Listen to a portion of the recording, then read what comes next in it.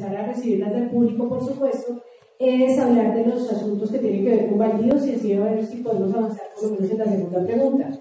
Eh, creo que la identificación y recuperación de los baldíos del estado de naturaleza baldía ha constituido pues esa evidencia de la que estamos hablando y aún las dificultades normativas persisten.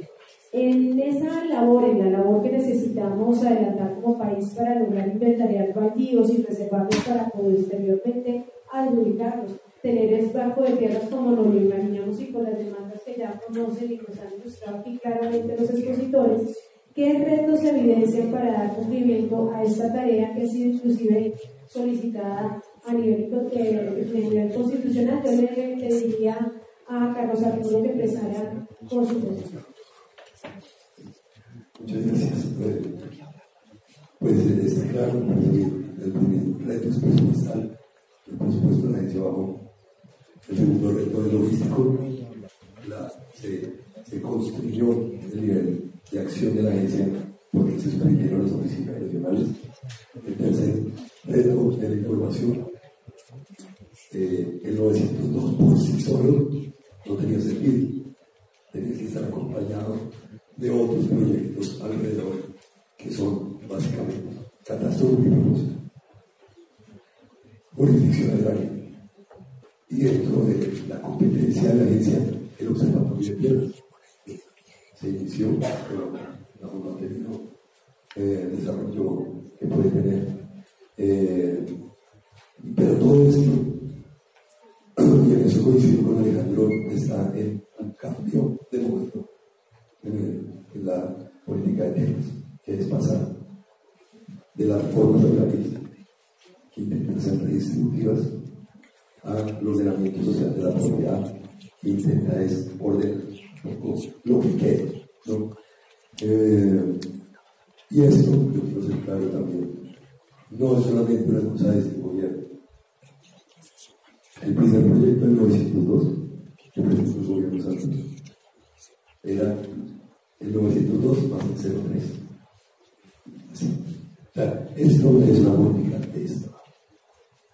El Estado quiere cambiar su modelo de redistribuir la tierra para los que no tienen a ordenar la propiedad. Y ahí hay una cantidad de debates, conflictos territoriales, competencias interétnicas, muchas cosas que lo que, lo que sorprende es que el gobierno haya gastado este tiempo en no presentar esos proyectos, el de jurisdicción agraria, por ejemplo. Las competencias que doctora menciona, que son reales, ¿cierto? No se van a solucionar con el 03, ni siquiera los toca. Se deben con la jurisdicción del área que está un poco, pareciera ya sepultada eh, en la agenda estatal. Eh, entonces, eh, yo creo que existen las herramientas, pero falta la voluntad presupuestal logística y claramente espero, y eso sí, es un llamado que yo hago, a que la política de tierras sea dialogante con todos los actores sociales. ¿no? Eh, en este primer semestre ya normal, no se acaba pero pareciera que la preocupación es solamente la SAC y los gremios para mantener el diálogo y debería ser un poco más inclusiva y el, digamos, los elementos están ahí. Eh, el que el gobierno no haya aceptado eh, el plan, eh, el capítulo campesino del Plan Nacional de Desarrollo presentó las organizaciones campesinas, el que no haya firmado la Declaración de Poblaciones Rurales y Derechos del Campesino de la ONU, el que aún la Nación Nacional, habiendo firmado una política de reconocimiento del campesinado taxativa, la nación haya decidido cambiarla unilateralmente a último momento. Entonces, sí hay una cuestión de voluntad. O sea, estamos de acuerdo en que hay muchas barreras históricas, logísticas, presupuestales, pero también siento yo que hay que tener una mayor apertura política frente a los desafíos que, que la política de tierras de este país demanda, estando con los coeficientes de Gini tan elevados en la estructura de distribución de la propiedad, ¿cierto? Y teniendo conflictos interétnicos territoriales tan graves como los que pasan en el Cauca, en Cesar, etc., que debemos de relacionar mucho más, ejemplo, eh, horizontal y democrático en ese ejercicio. Bueno, muchas gracias. Em, lo primero es que em, coincido plenamente con, con, los retos planteados por, por, la directora en relación con la institucionalidad y, y, está eh, muy interesante ver los ajustes que vienen en camino. Dado que Pilar pregunta por las formas propositivas más que la crítica, eh, creo que, que pues, en, en, un ejercicio de lluvia de ideas, simplemente, porque me, toca responder positivamente, eh, eh, a pesar de las dificultades de la corrupción, sí en el marco de unos ejercicios con veeduría y participación, las alcaldías municipales pueden ser brazos mucho más cercanos eh, al, ciudadano, al, ciudadano, rural, eh, mientras que la Agencia Nacional de Tierras construye poco a poco esta capacidad institucional, porque eso no es de un día para otro. Eh, y entiendo las prevenciones y entiendo que, que, sea difícil, por supuesto es un reto gigante, pero de nuevo siempre hay la oportunidad de crear alianzas y dado que estamos en un diálogo defensorial, eh, el Ministerio Público tiene presencia en todos los municipios del país, todos sin excepción. Eh, y de la mano con universidades o, u otras eh, organizaciones de sociedad civil, sí creo que es momento de empezar a ponerle el acelerador desde el punto de vista local. Hay muchos trámites que con el solo hecho de impulsar eh, tendríamos unas mejores oportunidades de ejecución y mayor presencia en el territorio, por lo menos para que el, habitante rural perciba que el Estado está haciendo presencia. Lo segundo es que em, insisto en la necesidad de crear herramientas de solución de conflictos. Colombia no sabe, nosotros no sabemos hablar del conflicto pacíficamente ni, ni sabemos resolverlo. Y cuando estamos haciendo un ejercicio de acceso a tierras, terminamos es, los, los ejercicios pasados, que hay muchísimos y hay muchas experiencias de las cuales aprender y, tomar eh, enseñanzas, terminamos hablando de, de, mil otras cosas salvo del conflicto que es preciso resolver.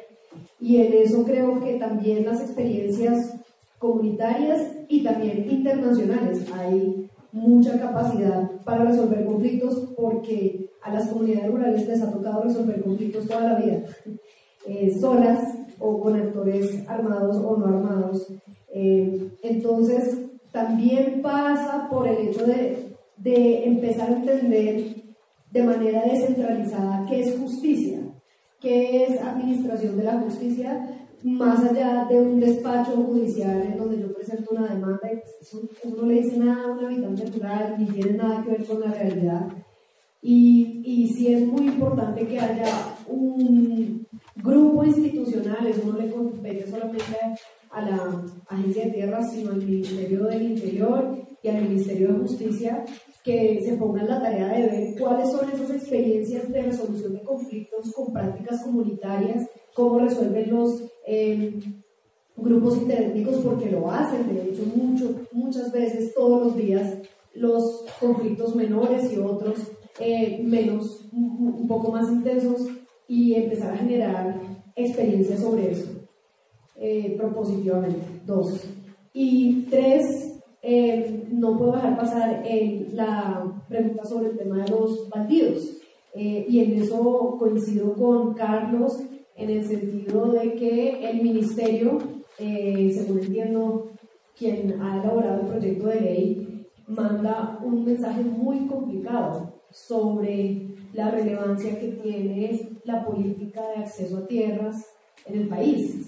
Em, yo no estoy de acuerdo con, ni con Luis Alejandro ni con Carlos en que el 902 haya cambiado un modelo de acceso a tierras, para nada. Eh, el, modelo de acceso a tierras cambió con la ley 160 que, que pasa de la reforma agraria de la ley 135 a un enfoque de mercado, está escrito ahí en la ley 160. El discurso de la ley 160 del campesinado es hermoso, pero las herramientas de implementación son, por decirlo menos, muy pobres. Y la evidencia muestra que eso es así. Pero donde sí estoy de acuerdo es que el proyecto que radicó el Ministerio de Agricultura lanza un mensaje muy complicado políticamente hablando sobre el hecho de que la eh, distribución de la propiedad eh, no es un tema relevante más en Colombia. Los baldíos realmente son, pues son la, la última fuente de acceso a tierras que medianamente puede contribuir a, a, un, a un mayor acceso y ese mensaje político realmente nos deja un poco mal parados en, el escenario. Finalmente quisiera eh, anotar un comentario sobre lo que Carlos acaba de mencionar sobre el, coeficiente de Gini y también tiene que ver con una eh, posición cultural de nosotros como colombianos. Eh, históricamente se han asignado más de 19 millones de hectáreas de vacíos y eso no ha servido de nada para reducir el coeficiente de Gini. Entonces, no creo que la, la, solución al problema de la concentración de la tierra esté en una política de acceso a tierras, eh, porque en la medida en que eh, entreguemos tierra y entreguemos tierra, eh, pues se van a seguir reproduciendo los mecanismos de mercado que no son suficientes para realmente de un lado, proteger a los más vulnerables del mercado que pueden, podrían entenderse como una falla del mercado, pero del otro lado también, como habitantes rurales, asumir la responsabilidad de lo que implica sobrevivir en, una, en, una, en un escenario de mercado. Eh, por supuesto que ahí la carga mayor siempre la debe tener el, el, Estado en zonas abandonadas donde no hay presencia y donde muchas veces el conflicto armado pues dificulta la sobrevivencia en condiciones de mercado libre. Luis, eh, han llegado muchas preguntas del público, entonces eh, se la palabra para que solucionemos el, tratamiento que les había hecho.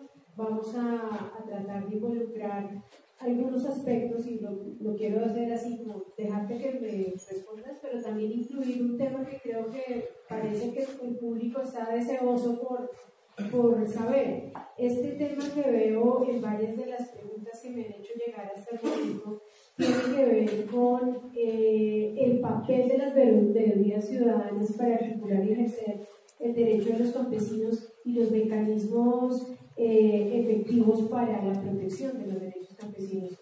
Así que involucrado, si se puede, por favor, estos temas. Bueno, pues entre otras cosas, gracias al público por mencionarlo, porque está dentro de lo que quería precisamente referirme ahora. Cuando, cuando hablamos del tema de acceso a tierras, pues uno tiene que, ver si realmente se está accediendo o no. La propiedad como, eh, como está, no lo dice la no lo dice CIMA, no lo dice Texualo, dice estudios de todas las universidades del país y del mundo. La propiedad de la tierra en Colombia se sigue concentrando. Y entonces, dice uno de cuál acceso estamos hablando. Pero cuando eh, nos presentan eh, decisiones administrativas a través de, leyes de, legislativas, pero decretos como en el caso de 902, a los que uno le dice, oiga, pero ¿por qué no nos sentamos y conversamos antes de que nos pidan? Y ahí empiezo a tocar el tema de veeduría. La veeduría no muestra si lo están haciendo bien o lo están haciendo mal. Eso tiene que ir mucho más allá. La veeduría es una forma de las distintas de participación ciudadana que hay en este país, por lo menos las que están reguladas.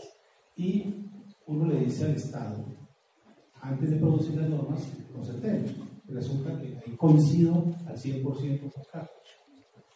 El, gobierno colombiano, en sus diferentes épocas, entiende que la concentración de tierras en Colombia lo hace es por los grandes gremios de la producción pero cuando los campesinos nos pronunciamos, entonces se dice, eh, no, es que con ustedes no estamos obligados a solo tocar el caso de las consultas previas, nos obliga como indígenas, nos obliga con eh, las comunidades árabes, pero con campesinos no. Y entonces por eso el decreto el proyecto de ley 903 ni lo socializó el gobierno ni lo socializó el Senado. Y entonces los campesinos de modo de Pero ahí tajantemente están dándole un golpe fuerte a un derecho que sí creo que tenemos. ¿sí? Salvo que haga parte de ese listado de los que están aboliendo, que es el derecho a la participación.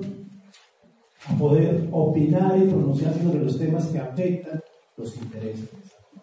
Y eso no está siendo respetado para que hablemos de derechos. Y entonces, cuando nosotros decimos el Estado debe hacer presencia en, la región, porque allá es donde está el problema, eso no está aquí en Bogotá. Está es allá, y allá es donde hay que recoger las vivencias de cada una de las comunidades. Es que es distinto en, la costa, en el altiplano o en la eh, llanura.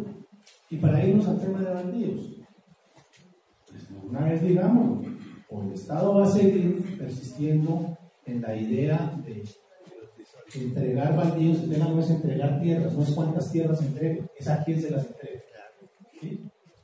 No, es a quién, no es cuántas entrego, sino a quién. Vamos a insistir entonces entregamos los baldíos a las islas, vamos a insistir en que entregamos los baldíos a las zonas de desarrollo empresarial, mientras tanto las zonas de economía campesina las zonas productoras de alimentos tienen todos los obstáculos todos los campesinos eso, es una realidad que no podemos ocultar. Y el decreto este, el proyecto de ley 03 en materia de batidos sí que era gravísimo. Menos mal, creo que funcionó la estrategia, yo entiendo que fue parte movida también por el, mismo eh, gobierno de dejar que se hundiera, que se archivara y afortunadamente eso ocurrió porque es que ahí tenía cosas gravísimas. Pretender en las derogatorias, algo que casi nadie lo dice, eh, sacar de ahí al Ministerio Público y prohibirle a la Procuraduría que intervenga para revisar la adjudicación, la titulación de un baldío, eso es gravísimo. Es gravísimo, es decir, lo queremos manejar nosotros solos, desde el Estado, y eso no puede ser. Así que eh, la mejor veeduría son las comunidades organizadas. No necesitamos constituir una veeduría al, mandato de la ley de veedurías. No, es, la veeduría comienza desde antes de hacerse las cosas, para que se causen, se formulen y se Bueno.